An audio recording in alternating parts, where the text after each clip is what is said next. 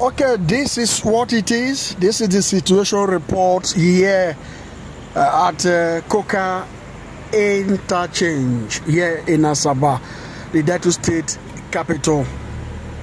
Uh, a little bit of, um, what I call it, hold up, which is as a result of the security check by the men and officers of the Nigerian police force trying to do a human's job, doing what they know how to do best.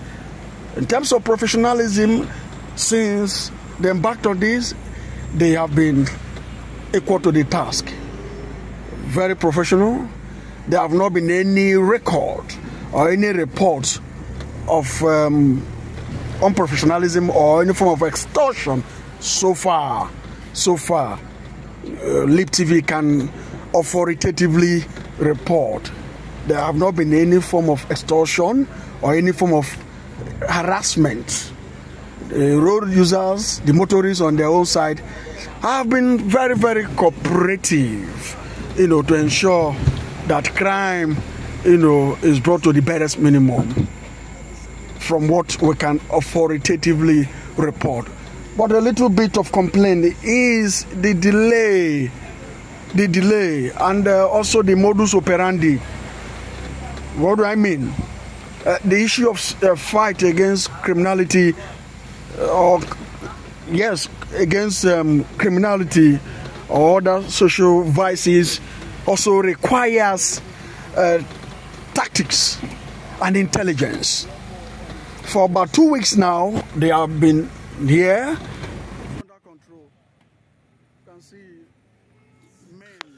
Yes, in case you're just joining us, you are watching the situation report here at Koka Interchange. I've been in Asaba Expressway here in Asaba.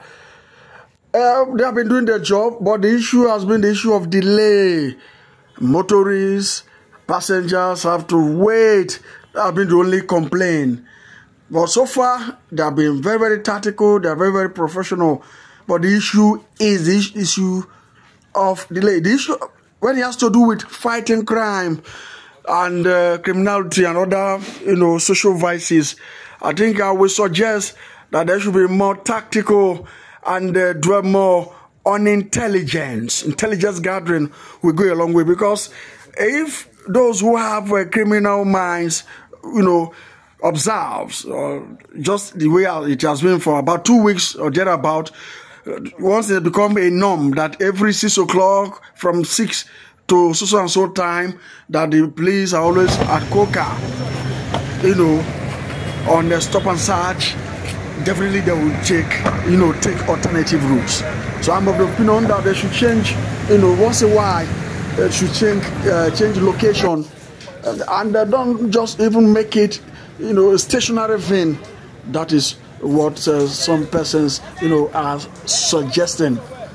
Because once they notice that there's always this gridlock, this hold up at this particular point, there's every tendency of them taking alternative route for those who have a criminal minds. My name is Gospel Amalia. Yes, my name is Gospel Amalia Mefobo, reporting for Lip TV News.